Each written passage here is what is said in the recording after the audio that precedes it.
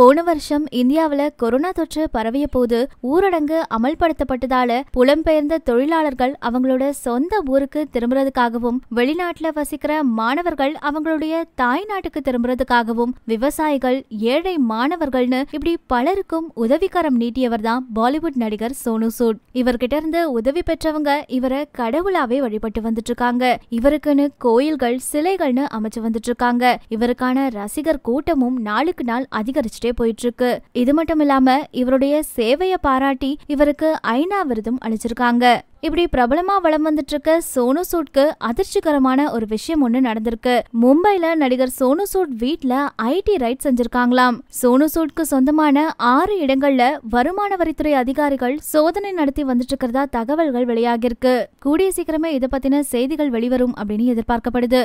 சோனு சூட்க்கு சொந்தமான இடங்கள்ல ஐடி ரைட் நடக்கிறதால அவரோட ரசிகர்கள் சோகத்துல ஆழ்ந்திருக்காங்க. மேலும் இது போன்ற தகவல்களை தொடர்ந்து தெரிஞ்சுக்க மறக்காம தினமலர் நெல்லை சேனலை சப்ஸ்கிரைப் பண்ணிடுங்க. கூடவே இருக்க பெல் ஐக்கானை கிளிக் பண்ணிடுங்க.